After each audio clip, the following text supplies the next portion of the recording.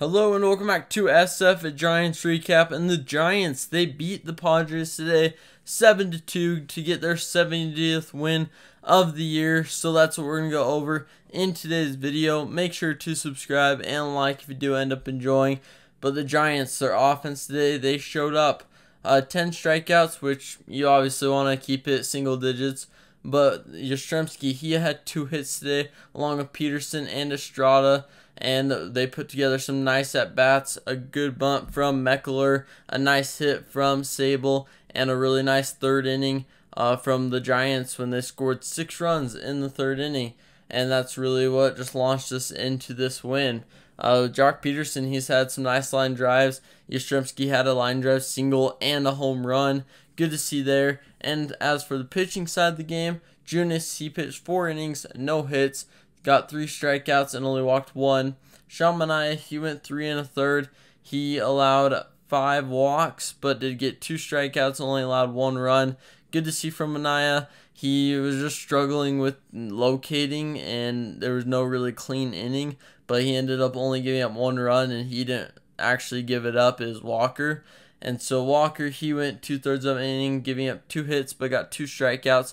So good to see from him. And then Scott Alexander, he closed out the game, allowing one run, and but that was kind of on a pass ball, and so not entirely Alexander's fault. But the pitching today, they did really well to hold the Padres still, and I think it'll probably probably be back, uh, Beck tomorrow on the mound. So I'm liking this of not having the openers. We're actually having guys who go more than one or two innings to start the game. We're having starters, so I think this uh, will work out for the better.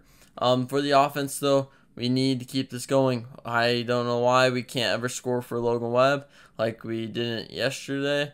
And so if we can keep this offense going, this team is going to be really good. We are 4 for 10 with runners in scoring position. That's the reason we won the game. 4 for 10. That's 40% of the time we were doing really well, runners in scoring position, and that's been our biggest weakness all year.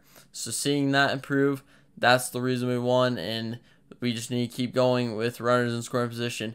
Put the ball in play, make something happen. The thing that kills this team are the strikeouts. And Thairo Estrada, he struck out three times today, and he's really struggling on the off speed but he also is putting together multi-hit games as well. So you can't really complain too much, but the offense has to keep doing well, runners in scoring position, or else this team will suffer. So that will do it for today's recap. Thanks for watching, and I'll see you next time for a new SF at Giants recap video.